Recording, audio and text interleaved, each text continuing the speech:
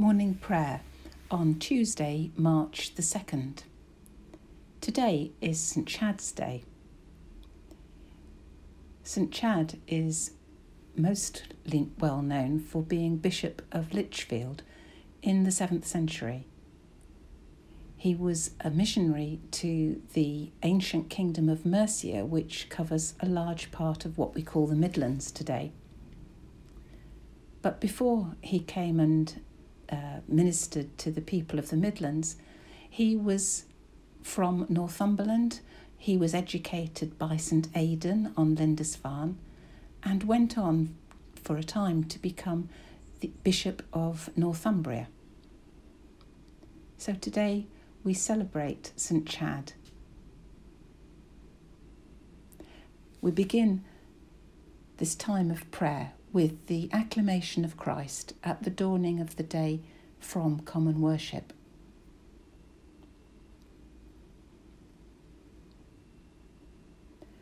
O Lord, open our lips, and our mouth shall proclaim your praise.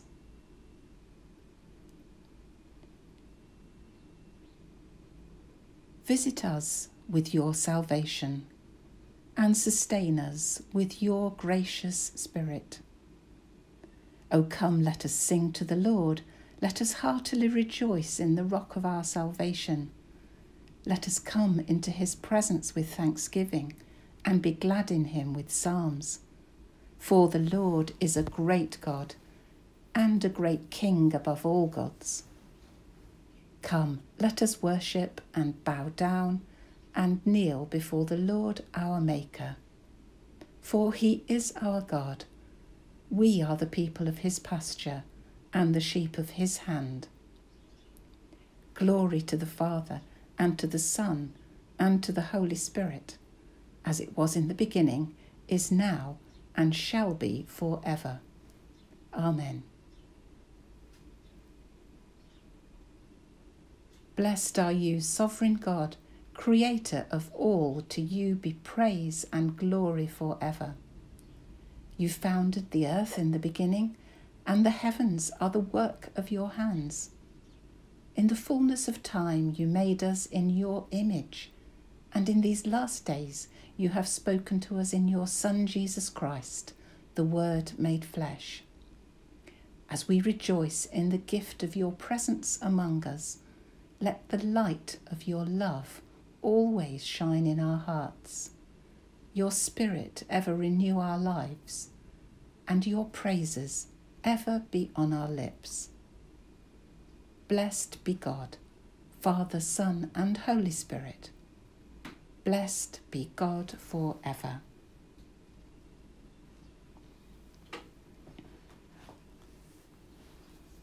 We continue with one of the Psalms for today, Psalm 50. And again, I'm going to use the paraphrase as I did yesterday by Jim Cotter in his book Through Desert Places, published by Cairns Publications. The refrain Your eyes are fierce with love, your hands are gentle in judgment. From the midst of the glory of the sun, from the mountain top of your appearing, you come to us in perfect beauty, the judge of the earth, doing all things well. You come to us, you do not keep silent.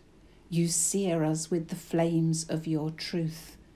You devour the chaff of our sins. Awesome is this face of your love. We have failed to worship you in truth we have been disloyal to your covenant, content with repeating mere words, self important in the display of our ceremonies. We have not obeyed your will, colluding with those who thrive, thieve and betray, loosening our tongues in slander and gossip, even lying against kith and kin. Open our eyes and ears, O God we who have been so blind and deaf, seduced by the glamour and dazzle around us.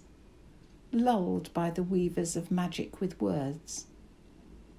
No better are we than your people of old, seeking to please you with a smoking burnt sacrifice, thinking you'd relish animals' flesh, that this was the worship you sought. But all the beasts of the forest are yours, and so are the cattle on a thousand hills. You know all the birds of the air, the grasshoppers of the field are in your sight. Your eyes are fierce with love. Your hands are gentle in judgment. You own the very gifts that we bring you. All things have come to us from out of your hand. You give them to us to enjoy and to share with others in need.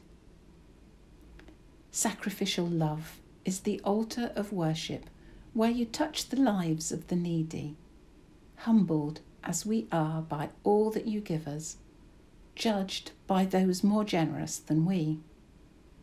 Renew in us the covenant of old.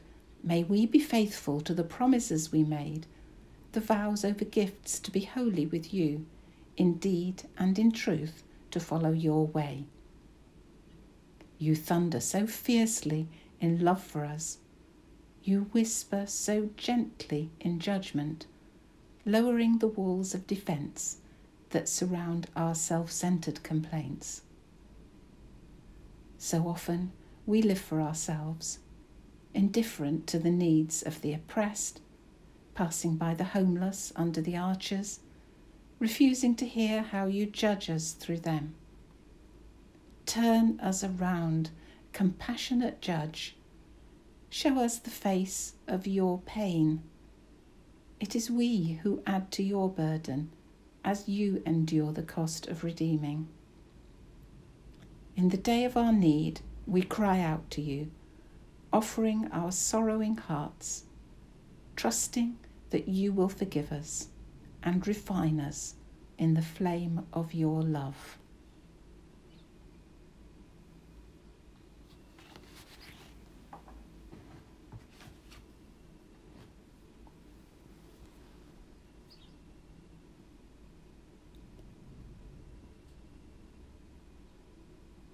Our New Testament reading is from the Gospel of John, chapter 6, and verses 52 to 59.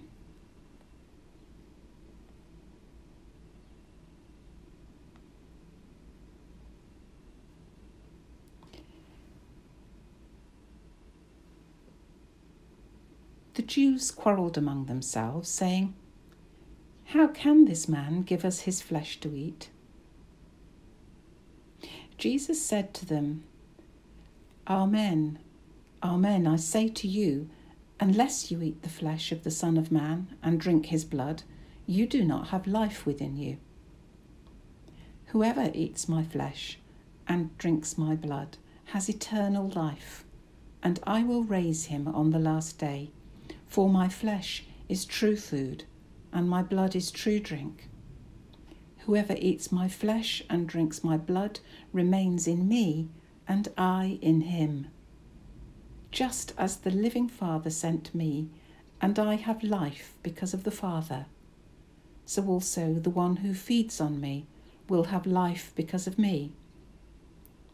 This is the bread that came down from heaven. Unlike your ancestors who ate and still died, whoever eats this bread will live forever. These things he said while teaching in the synagogue at Capernaum.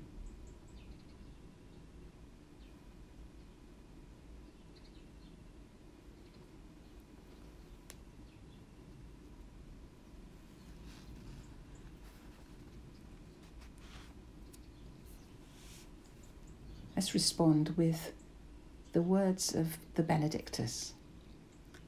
Blessed are those who hunger and thirst for righteousness, for they shall be satisfied. Blessed be the Lord, the God of Israel, who has come to his people and set them free. He has raised up for us a mighty Saviour, born of the house of his servant David. Through his holy prophets, God promised of old to save us from our enemies, from the hand of all that hate us, to show mercy to our ancestors, and to remember his holy covenant. This was the oath God swore to our father Abraham to set us free from the hands of our enemies, free to worship him without fear, holy and righteous in his sight all the days of our life. And you, child, shall be called the prophet of the Most High, for you will go before the Lord to prepare his way, to give his people knowledge of salvation by the forgiveness of all their sins. In the tender compassion of our God, the dawn from on high shall break upon us, to shine on those who dwell in darkness and the shadow of death, and to guide our feet into the way of peace. Glory to the Father, and to the Son, and to the Holy Spirit, as it was in the beginning, is now, and shall be for ever. Amen. Blessed are those who hunger and thirst for righteousness, for they shall be satisfied.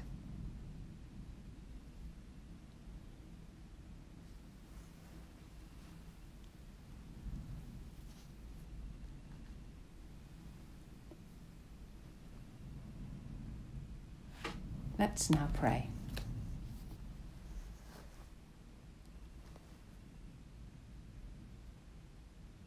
We pray for ourselves, thinking about this coming day, the things that we need to do, that we want to do, and those people that we will speak to, those conversations. Let's bring those before our Lord now, asking that we may live every moment by the power of His Spirit and to His praise and glory.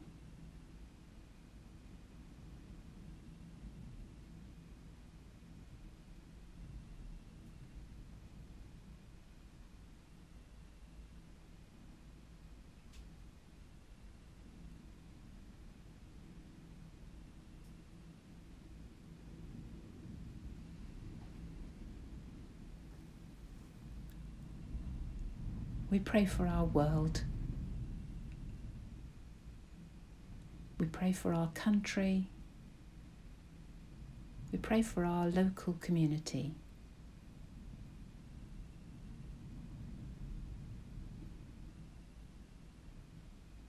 Lord, we ask that your will may be done in each of these spheres, that your kingdom will come, that you will graciously bless our community, our country, and this world. Let's pause for a moment to bring any specific needs to God now in prayer.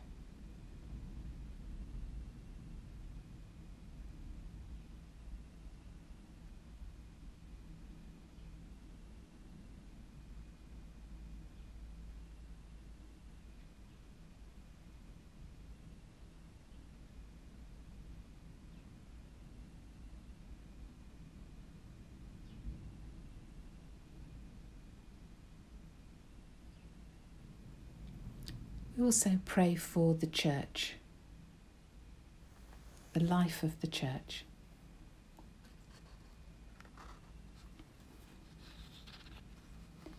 A prayer written by Jim Cotter based on Psalm 50.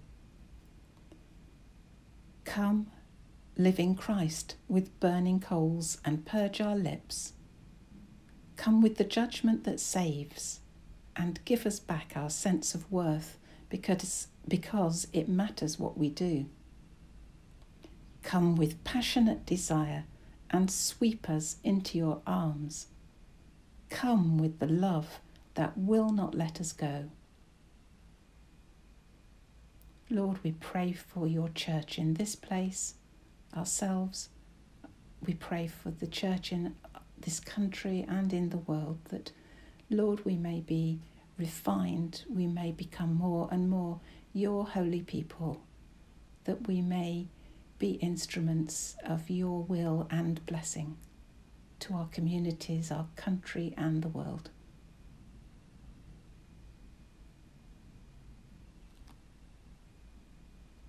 Lord, hear us.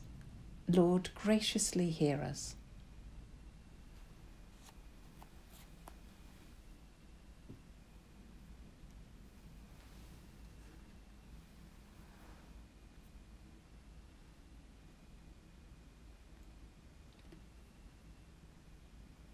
Special prayer for today being St. Chad's Day. Almighty God, from the first fruits of the English nation who turned to Christ, you called your servant Chad to be an evangelist and bishop of his own people. Give us grace so to follow his peaceable nature, humble spirit, and prayerful life, that we may truly commend to others the faith which we ourselves profess. Through Jesus Christ, your Son, our Lord who is alive and reigns with you in the unity of the Holy Spirit, one God, now and for ever. Amen.